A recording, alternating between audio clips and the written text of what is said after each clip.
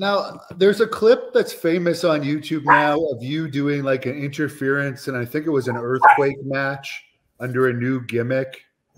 Do you recall what that was in WWE? I think it was around the time you returned from your parasailing ac- accident. You know, a guy wearing uh, fur, or yeah, yeah, yeah. That was just uh, something I was trying to uh, make the adjustment of deciding how much you know how much I could do in the ring. What you know, what was I willing to risk? The, the doctors told me I was absolutely out of my mind. I cannot ever wrestle. It's too risky. You're gonna die. Period. End of the story. So that's a you know pretty big decision to make.